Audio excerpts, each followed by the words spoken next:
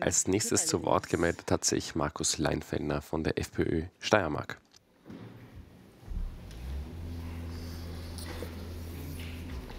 Ja, danke, Frau Vorsitzende, Herr Minister, geschätzte Zuseher, geschätzte Zuhörer, geschätzte Kollegen im Haus, liebe Österreicher.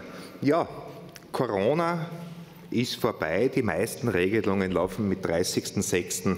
Also morgen aus. Und ja, was Sie vergessen dazu zu sagen, das habe ich jetzt nicht gehört bei den Vorrednern, ist, dass wesentliche Teile von diesem Corona-Regime äh, weitergeführt werden können. Äh, äh, jederzeit kann man all diese völlig überzogenen Maßnahmen wieder hochschalten. Und ja, meine sehr geehrten Damen und Herren, 70 Milliarden Euro hat man ausgegeben in den vergangenen zweieinhalb Jahren zur Abfederung von völlig überzogenen Maßnahmen. Und ja, man könnte schon sagen, man hat dieses Geld sprichwörtlich beim Fenster hinausgeworfen, Unsummen äh, äh, für irgendwelche fragwürdigen Tests ausgegeben, für Impfungen ausgegeben, wo wir inzwischen wissen, dass es, Herr Bundesminister, nehmen Sie an einem Preisausschreiben teil oder, oh na super, ja, äh, für Impfungen ausgegeben und, und ja, die Leute sprichwörtlich in den Wahnsinn getrieben. Sie haben den Österreichern vorgegaukelt, dass es Triagen geben wird. Triagen, die sie geschaffen haben, waren auf den Psychiatrien und auf den Kinderpsychiatrien mit ihren, ihren Maßnahmen. Und in dem Zusammenhang darf man sich schon auch fragen, wie viele Impfdosen von denen, was sie gekauft haben, haben wir tatsächlich gebraucht? Wie viel Geld, wie viel Geld hat diese Planlosigkeit unserem österreichischen Steuerzahler gekostet. Und ja, was man sich in diesem Zusammenhang auch fragen darf, wie viel hätte es dem Steuerzahler gekostet, wenn sie das angeschafft hätten, was wir braucht haben, ja? Das darf man sich hier schon fragen. Und ja, diese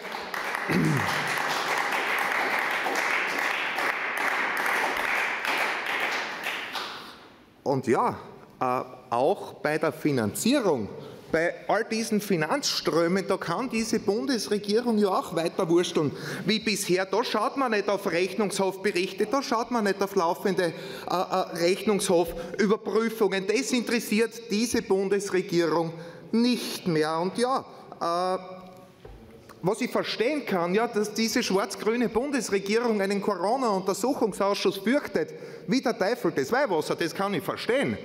Aber warum die beiden angeblichen Oppositionsparteien, die SPÖ und die NEOS, ja, da auch nicht dabei sind bei dem Untersuchungsausschuss. Ja, das sagt wieder einmal, dass es in diesem Haus nur mehr zwei Parteien gibt, nämlich die Einheitspartei, die Roten, Schwarzen, Grünen, Rosaroten und uns Freiheitliche. Das sagt es wieder einmal ganz, ganz klar.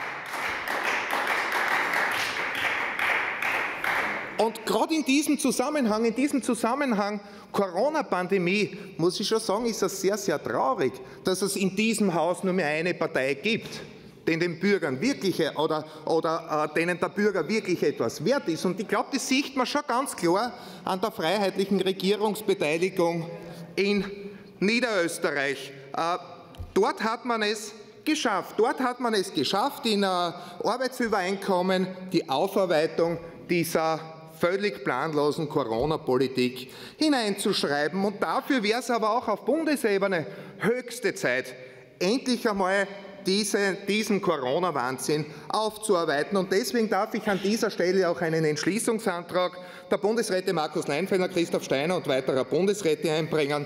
Der Bundesrat wolle beschließen. Die Bundesregierung wird aufgefordert, dem Nationalrat umgehend eine Regierungsvorlage zuzuleiten, die die Errichtung eines Corona-Wiedergutmachungsfonds des Bundes, äh, des Bundes zum Inhalt hat.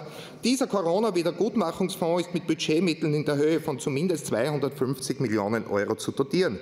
Er soll die Auswirkungen der Corona-Maßnahmen evaluieren bzw. dokumentieren und Beratungsleistungen im Fall individueller Schäden medizinischer Betreuung von Menschen mit Impfstoffbeeinträchtigung, Kosten zur Behandlung psychischer Probleme, allfälliger erforderlicher Therapien, Mehraufwendungen für Heimunterricht, sonstige erforderliche Unterstützungen, in erster Linie für Kinder und Jugendliche, wie zum Beispiel Gutscheine für Nachhilfe, Freizeitaktivitäten und weitere einschlägige Unterstützungsleistungen finanzieren.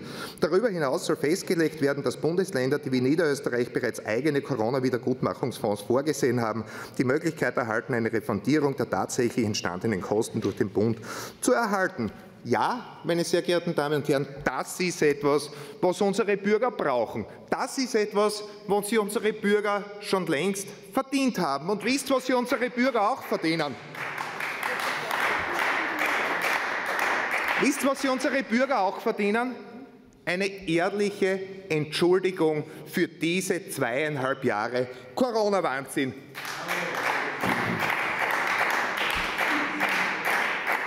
Aber diese Entschuldigung höre ich von Ihnen nicht. Diese Entschuldigung höre ich weder von Ihnen noch von den restlichen Parteien in diesem Haus. Und ich sage ja, äh, äh, zweieinhalb Jahre Corona-Politik durch diese schwarz-grüne Bundesregierung. Was haben wir heute? Wir haben kaputte Unternehmen.